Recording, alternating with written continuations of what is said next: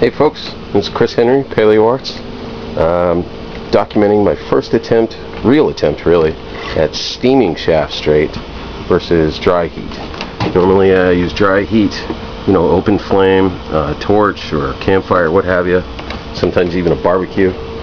But what I find is that it's uh, rather difficult and you get a lot of charring on uh, your shaft. For instance, see here's some spear shafts, some willow that I just charred. That's kind of dark, probably hard to see.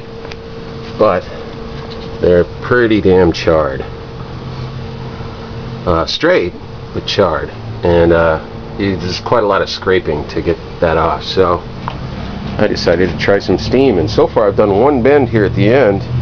And it actually, 10 minutes of steaming, probably a inch, inch and a half piece of uh, willow, bent like a wet noodle. So it seems to be working really well. Um, I'll throw up a video of it once it's done.